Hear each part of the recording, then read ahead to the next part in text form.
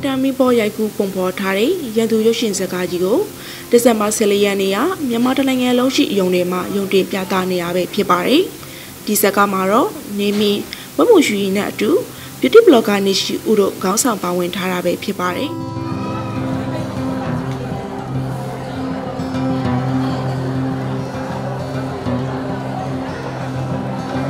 ဖန်နေရဲ့အရှိတော် beauty blogger နေရှိဦးရဲ့ ပွဲဥထွက်အရိုက်ကူထားတဲ့ရုပ်ရှင်ဇာတ်ကားတကားဖြစ်တာကြောင့်ပရိသတ်တွေအားလုံးကလည်းအထူးစိတ်ဝင်စားနေကြတာဖြစ်ပါတယ်။အဆိုပါဇာတ်ကားစတင်ပြသတဲ့ဒီဇင်ဘာ14ရက်နေ့ညနေ6နာရီခွဲပွဲမှာတော့နေရှိဦးဟာသူမရဲ့ fan တွေဖြစ်တဲ့ရှီလီစတွေနဲ့အတူ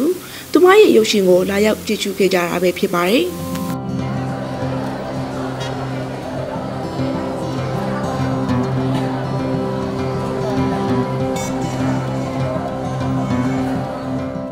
ဝေခဲ့တဲ့ပလန်နာဘုတ်စာအုပ်ကလေးတွေကိုလေသူမရဲ့ fan တွေအားလုံးကယူလာခဲ့ကြပြီးအားပေးခဲ့တဲ့အကြောင်းကိုပြသခဲ့ရတယ်တွေ့ရပါတယ်။